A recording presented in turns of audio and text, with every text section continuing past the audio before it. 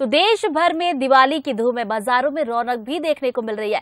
तो पटाखों की दुकान की बात की जाए तो भीड़ काफ़ी ज़्यादा नज़र आ रही है। देखिए, कल तो दिवाली का त्योहार है, इसलिए पटाखों की दुकान पर भीड़ तो ज़ाहिर सी बात दिखती है। लेकिन चूँकि आज भारत और पाकिस्तान के बीच भी मुकाबला है, इसलिए पटाखों की दुकान पर अगर देखा जाए तो और भी ज़्यादा भीड़ बढ़ गई है। क्योंकि सभी को उम्मीद है कि भारत आज का मैच जीतेगा तो आतिशबाजी तो शाम को होगी ही होगी। तो देश भर में दिवाली की धूम इस वक्त देखी जा रही है और बाजारों से जुड़ी हुई पल पल की तस्वीर भी हम आप तक पहुँचा रहे हैं कि सुबह होते ही लोग खरीदारी के लिए पहुँच रहे हैं। बाजारों में बड़ी भीड़ उमड़ी हुई दिखाई दे रही चाहे वो मिठाई की दुकानों की बात की जाए, पटाखों की दुकानों की बात की जाए, या फिर साज सज्जा के सामान फूलों की दुकान, सभी जगह अच्छी खासी रौनक इस बार देखने को मिल रही है।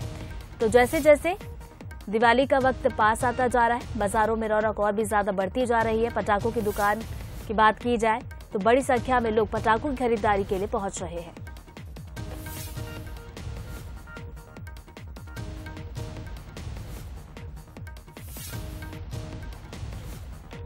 तो चलिए, बाजारों में इस वक्त किस तरह की रौनक दिखाई दे रही है, ये बताने के लिए हमारे सहयोगी गौरव हमारे साथ जुड़ गए सीधा उनका रुख करते गौरव, इस वक्त आप कौन से बाज़ार में मौजूद है? वहाँ की तस्वीरें हमारे दर्शकों तक पहुंचाइए।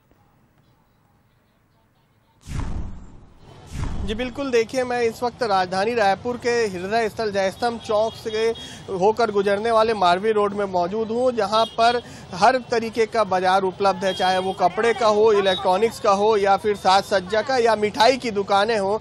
वो इसी एक जो आप मैं इस तस्वीर के माध्यम से दिखाना चाहूँगा इसी एक सड़क में आपको पूरी की दु, पूरी दुकानें मिल जाएँगी जहाँ पर आपको सभी चीज़ें मिल सकती हैं चाहे वो कपड़े की बात की जाए या फिर मिठाइयों की बात की जाए और अन्य साज सज्जा की बात की जाए, यहाँ पर आपको सभी चीज़ें मिल जाएँगी। सबसे बड़ा हृदय स्थल है ये राजधानी रायपुर का, और सभी सामग्री यहाँ पर मिलती है। लोगों में खरीदारी को लेकर काफ़ी उत्साह है। इस भीड़ से ये अंदाज़ा लगाया जा सकता है कि कितनी बड़ी संख्या में लोग घर से निकलकर यहाँ पर दिवाली की तैयारियाँ करने पहुँचे हुए हैं। कल दिवाली है तो वाजिब है कि लोग जो है वो अपने घर से निकलेंगे, और आज रविवार का भी दिन है तो रविवार के दिन के चलते खासी भीड़ जो है वो बाजारों में देखने को मिल रही है। पुलिस के द्वारा पूरी तरीके से चाक चौबंद व्यवस्था की गई है।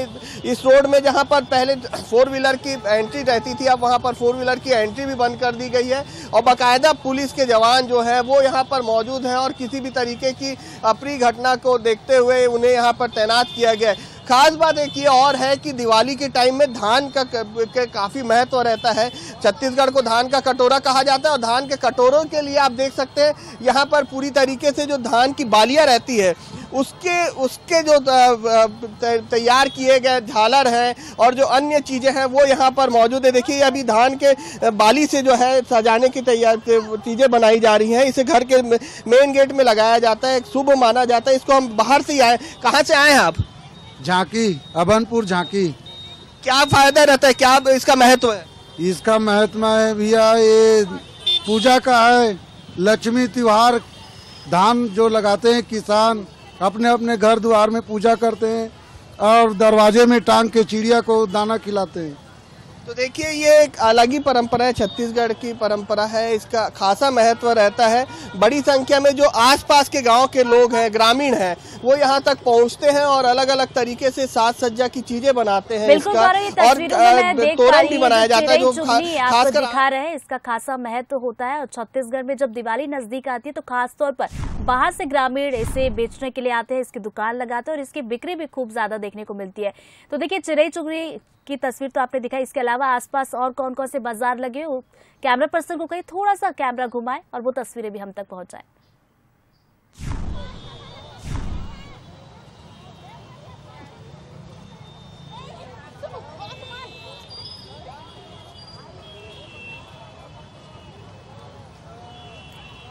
गौरव क्या आप मुझे सुन पा रहे हैं? तो चलिए दोबारा जुड़ने की कोशिश करेंगे हम गौरव से। गौरव क्या आप तक मेरी आवाज़ पहुँच रही है? जी। गौरव चिरई चुगनी की आपने तस्वीर दिखाई जहाँ पर जो बेचने वाले हैं वो उनके चेहरे पर भी खुशी दिख रही है लोग भी लेने के लिए पहुँच रहे हैं। इसके आसपास और कौन कौन से बाज़ार लगे हैं उसकी रौनक भी हम तक पहुंचाइए। जी देखिए बिल्कुल ये जयस्तंभ चौक है यहाँ पर ये पूरे व्यापार जो गाँव से आए ग्रामीण है मैंने आपको उनकी तस्वीर दिखाई।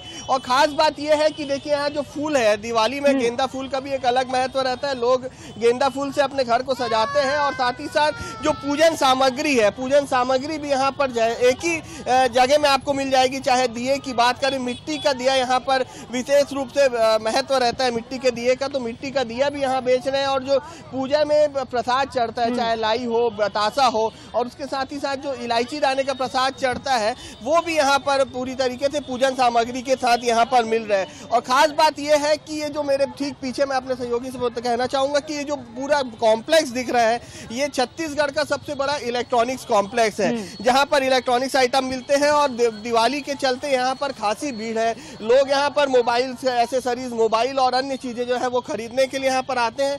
बड़ा मार्केट है भीड़ अच्छी रहती है और साथ ही साथ यदि हम बात करें तो ठीक सामने जो सड़क दिख रही है उसमें कपड़े के जो बाज़ार है बड़े कपड़े के बाज़ार है वो भी मौजूद है कपड़ा लेने बिल्कुल हैं। जयस्तंभ चौक की बात की जाए तो अगर नज़र डाली जाए तो जहाँ तक नज़र जाएगी आपको लोग ही लोग नज़र आएँगे पैर रखने तक की जगह हम दिवाली के समय देखते हैं यहाँ पर रहती है तो जो तस्वीरें आपने दिखाई रौनक दिखाई उसके लिए बहुत बहुत शुक्रिया आपका